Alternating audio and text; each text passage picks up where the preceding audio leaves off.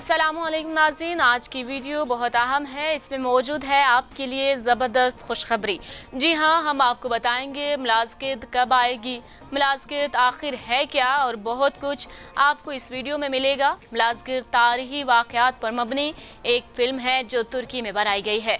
इसकी पहली रिलीजिंग तारीख डेढ़ साल पहले अनाउंस की गई थी। मुलाजकत के पहले ट्रेलर को खूब बिजराई मिली थी। मुलाजकत का मरकजी किरदार सुल्तान अली परसलान का था, जो कि अर्तुगल में तुर्गत का किरदार अदा करने वाले चंगेज जोशकन अदा कर रहे हैं। ये फ़िल्म दस सौ इकहत्तर में पेश आने वाले वाक़े अजीमुशान मार्के पर बनाई गई है, जो कि मुसलमानों और ईसाइयों के दरमियान हुआ था और मुसलमानों की सरबराही सुल्तान अली अरसलान कर रहे थे, जो कि सलजोकी सुल्तान थे। सुल्तान अली अरसलान, जो कि अपने चचा अतरुगल बेग के बाद तख्त नशीन थे।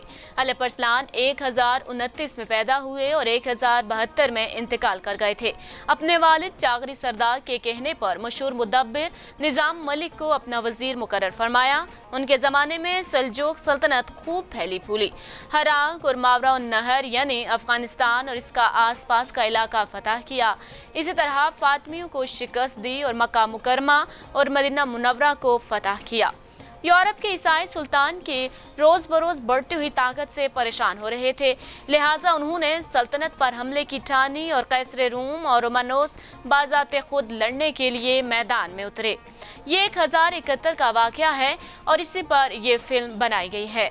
कैसरे रोम गिरफ़्तार हुआ और उसने अपने आज़ादी के लिए न सिर्फ़ ये के तावान अदा किया, बल्कि अपनी बेटी भी सुल्तान के निकाह में दी। इसके साथ साथ अर्मीनिया और जार्निया के इलाके भी सुल्तान के हवाले कर दिए गए। इसके अगले ही साल सुल्तान इंतकाल कर गए और मारो नामी शहर में अपने वालिद के पहलू में दफन किए गए। वफात के वक्त आपकी उम्र सिर्फ़ बयालीस बरस थी। सलजो की सल्तनत को तारीख में बहुत अहमियत हासिल है और ग्यारहवीं सदी से ये चौदहवीं सदी तक कायम रही और सल्तनत के कमज़ोर होने और इंतशार फैलने के बाद ही यूरोपीय ईसाइयों को उठ खड़ा होने की हिम्मत हुई और उन्होंने मुसलमानों पर सलीबी जंगें मुसलत की। यहाँ तक कि किबला अव्वल, मस्जिद अक्सा को भी मुसलमानों से छीन लिया गया। वैसे तो रोमी ईसाइयों के साथ कई लड़ाइयाँ हुई, जिनमें से अहम तरीन जंग मुलाजकत है।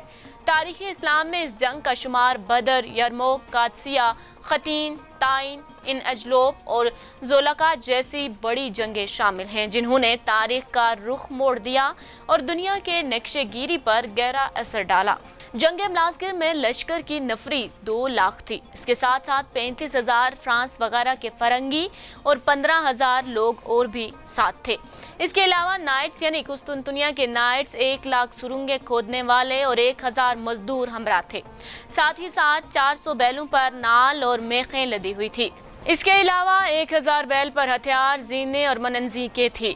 कैसरे रूम ने नाउज बिल्ला इस्लाम और अल इस्लाम को मिटाने का आज़म किया हुआ था, लेकिन अल्लाह ताला को कुछ और ही मंजूर था और रसवा कन शिकस्त कैसरे रूम और रोमानोस का मुकद्दर थी। जंग से कबल सुल्तान अली परसलान ने जंग की पेशकदमी को रोकने के लिए माहदे की पेशकश की, लेकिन रोमानोस ने उसको ठुकरा दिया और दूसरी तरफ़ सुल्तान एक हज़ार लश्कर के साथ कैसरे रूम से मुकाबले के लिए निकले। मशरकी तुर्की में जलवान में मुलाजकत के मकाम पर मैदान जंग बना। ये बुध का दिन था और जिलाकत के पाँच दिन बाकी थे।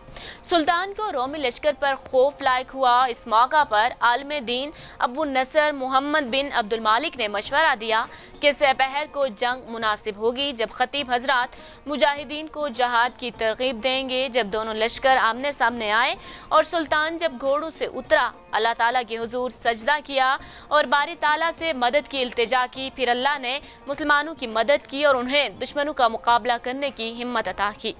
लड़ाई शुरू हुई तो मुजाहिदीन ने मैदान जंग में कफ़ार के लाशों के ढेर लगा दिए और उनका बादशाह रोमानोस गिरफ़्तार हुआ और बेशुमार यहूदी हलाक हुए। एक हज़ार इकहत्तर में मुलाजकत में पेश आने वाले वाक़े की याद आज भी यूरोपीय ईसाइयों के गले में फांस बनकर चुभ रही है। आपको याद होगा कि पिछले साल न्यूजीलैंड में मुसलमानों पर हमले में 50 से ज़्यादा लोग मारे गए थे और एक पाकिस्तानी जांबाज ने अपनी जान पर खेलते हुए हमला करने वाले को पकड़ा था। जो गन इस हमले में इस्तेमाल हुई थी, इस पर मुसलमानों के हाथों ईसाइयों को होने वाली शिकस्त के साल दर्ज थे। मसलन दस सौ इकहत्तर में होने वाली शिकस्त की तारीख एक हज़ार इकहत्तर दर्ज थी। ये पैगाम था ईसाई और सिलेबी दुनिया को कि तुम अपना माजी बोल रहे हो और इन मुसलमानों को ख़त्म कर दो, जिन्होंने इतनी शिकस्तें दी हैं। इस अजीमुशान मार्के पर फिल्माई गई फ़िल्म अब बहुत जल्द नाजरन के सामने पेश की जाने वाली है। इस फ़िल्म को डेढ़ साल पहले रिलीज़ हो जाना था, मगर कोरोना की वजह से ये रिलीज़ नहीं हो सकी। अब चूँकि कोरोना खत्म हो चुका है तो इस फ़िल्म की रिलीज़ की खत्मी तारीख का ऐलान जल्द कर दिया गया है और अब ये 2021 के दिसंबर की तीन तारीख को रिलीज़ हो जाएगी। उम्मीद है आज का वीडियो आपको पसंद आया होगा।